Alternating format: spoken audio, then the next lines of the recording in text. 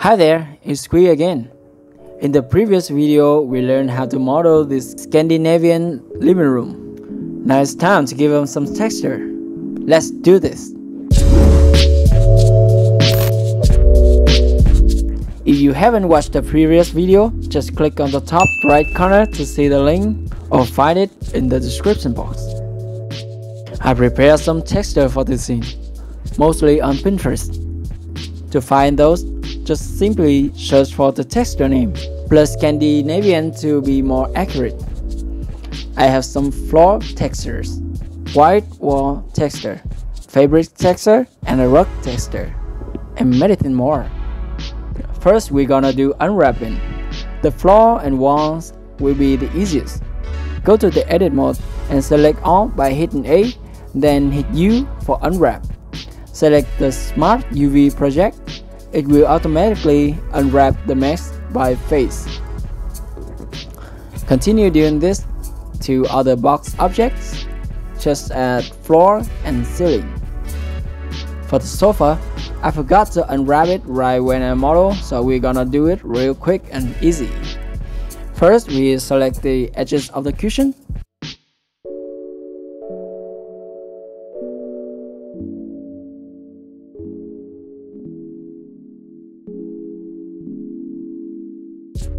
Control B to bevel it, give it two segments, just like the round chair.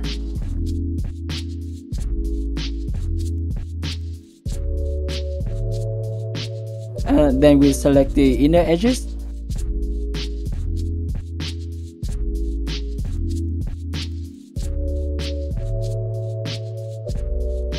Scale them inward and then mark them as seams. You can do the same for other cushions, but right now I just duplicate them.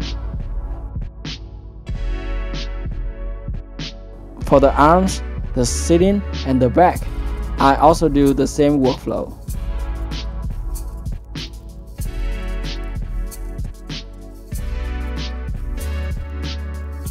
After mark on the seams, we can hit A and then U, then choose unwrap to unwrap them. The round chair is already unwrapped in the previous video.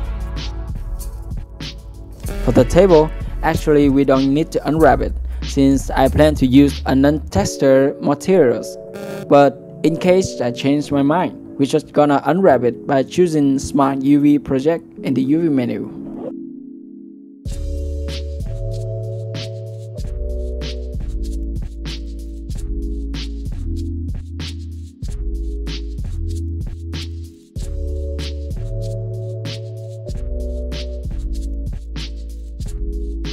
For the rug, since we created it from the plane, it's already unwrapped. But if you want to do it, just go to the edit mode and hit U unwrap and that's it.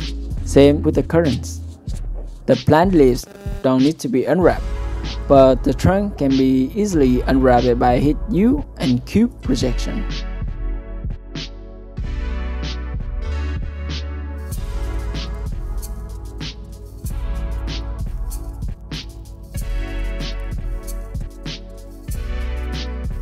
Okay, that's fine for the UVs. Let's head into texturing. I'll search for some good floor texture, same as our references. I think this one is good enough, so I choose it. Add a new material, drag the texture into the shader editor, connect it with the principal color. And because this is a really basic tutorial, I'll do the lazy way. I'll connect the same texture into the color ramp and then to a bump node. Reduce the strength and the distance to around 0.3. Increase the roughness a bit. We will add a texture mapping to control the size of the texture. Select the texture by hitting Ctrl Shift T and make sure you have turned on the node wrangler add-on. We will increase this texture about 5 times and pretty okay. Then you have it. I'm gonna do the same thing for the wall.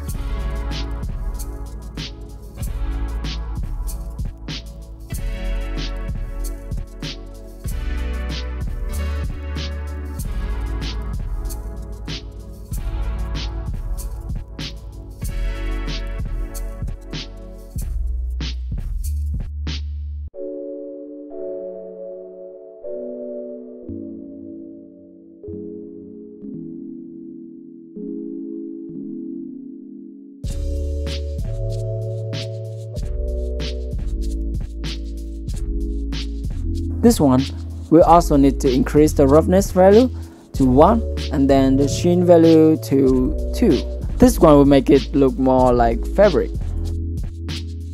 Next, we're gonna unwrap the pillow.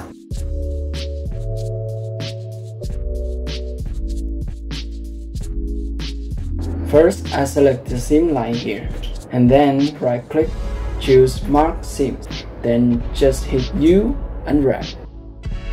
The round chair is the same as the sofa. You can also do this by select the sofa, go to the material tab, and then drag the material to the chair. The table is very simple. I leave the table frame as black metal material and then the tabletop is the glossy white.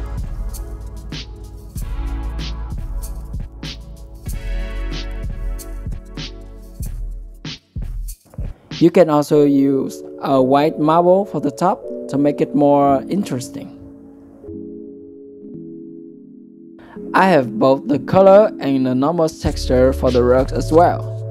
Just connect those into the principal shader, increase the roughness and the sheen to 2.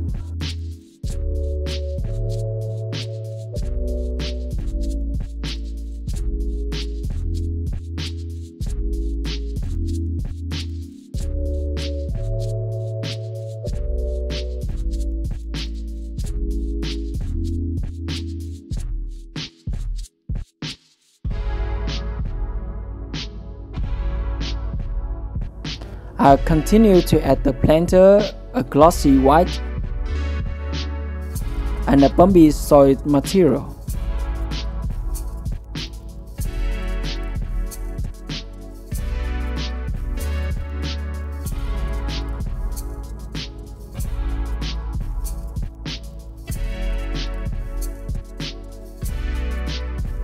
For the pictures, I put the black matte material to the frame and the black and white artwork inside.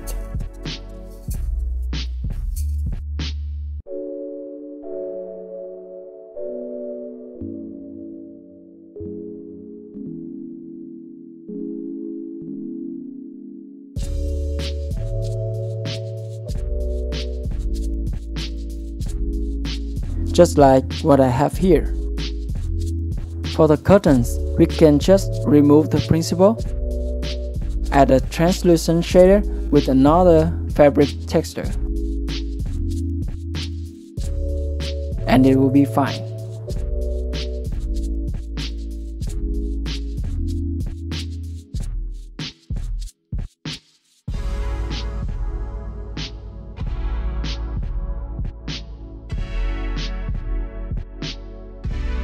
The last one is the window. I had a made white to the window frame and the glass shader to the glass panel.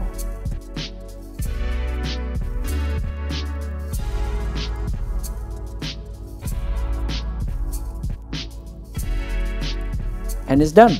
On the texture are ready to go, but not yet ready to render. In the final part, we will learn how to light up the scene and do the post-processing image in Photoshop. Please turn on your notification to get the latest news for the next videos. See you next time.